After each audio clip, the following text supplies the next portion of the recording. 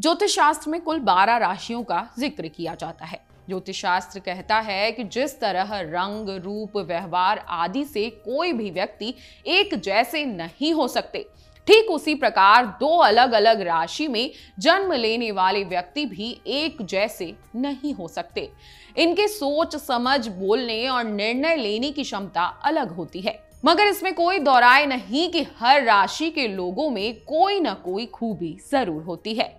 आज हम आपको बताएँगे कि कौन सी राशि वालों का आई क्यू लेवल कमाल का होता है। यानी कि कौन सी राशि है जिनका दिमाग बहुत तेज चलता है? मिथुन राशि। ज्योतिषास्त्र के अनुसार मिथुन राशि के लोग काफ़ी बुद्धिमान माने जाते हैं। इनका आईक्यू लेवल बहुत तेज होता है। मिथुन राशि वाले लोगों के पास हर सवाल का जवाब होता है। बिज़नेस के मामले में ये बेहद किस्मत वाले होते हैं। अपने दिमाग के दम पर ये खूब धन दौलत कमाते हैं और हर क्षेत्र में सफलता हासिल करते हैं। कन्या राशि वाले ज्योतिष शास्त्र के अनुसार कन्या राशि का स्वामी ग्रह बुद्ध है और बुद्ध के प्रभाव से ही यह बहुत अधिक बुद्धिमानी होते हैं। कन्या राशि वाले जातकों के पास सोचने समझने की क्षमता कमाल की होती है। ये अपना दम पर खूब सफलता हासिल करते हैं और अपने जीवन में आगे बढ़ जाते हैं। वाद विवाद में इन्हें कोई नहीं हरा सकता। वृश्चिक राशि। वृश्चिक राशि में जन्मे लोग दिमाग के काफ़ी तेज होते हैं।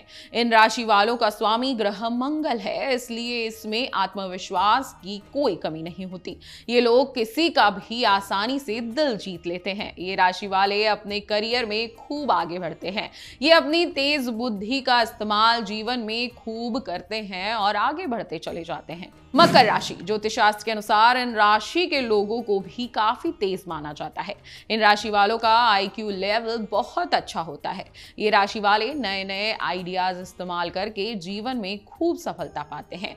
रिस्क में बिल्कुल पीछे नहीं हटते और खूब धन कमाते हैं। कुंभ राशि।